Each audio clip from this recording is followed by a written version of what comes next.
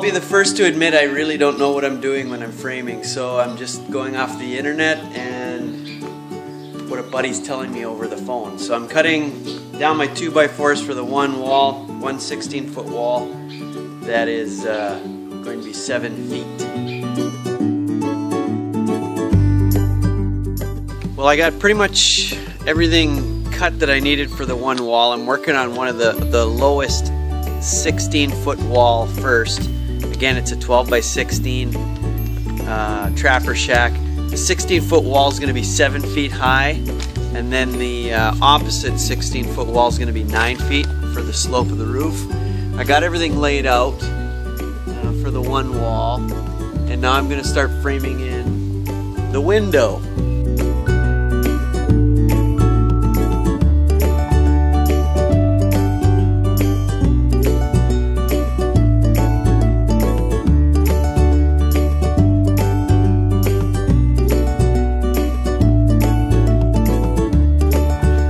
Right, so I got two windows framed out and I don't know, it looks good to me, but again, I didn't know what I'm doing really, right? So there's, there's what it looks like with a window in. Frogs are croaking, it's getting dark, but I got my first 16 foot wall completely framed. So I'm pretty pumped. Uh, then I gotta figure out what to do next. So I've lived long enough to know that it's not what you know, but it's who you know. Mike's here today, and he's Howdy. swinging the hammer a lot faster than I can. We're gonna try and put up the uh, the sidewalls that are at an angle because of the roof, and I don't know how to do that, so he's helping out. Thank the Lord. Oh.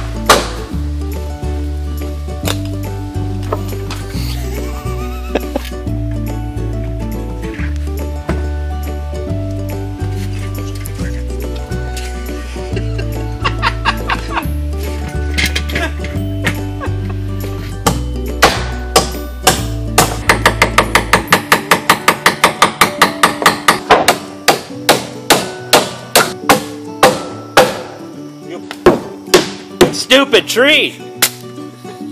God. Blame it on the tree. Yeah, yeah. So Brandon and I are having a little bit of lunch. You see we got lunch over here. And, and we're uh, cooking our sandwiches over a fire over there. And we got and we got little marshmallows. Yeah, we didn't have big marshmallows. We got little marshmallows, but I'm kind of disappointed in myself. I, uh, in the heat of the moment, if you notice, above here, we have a roof.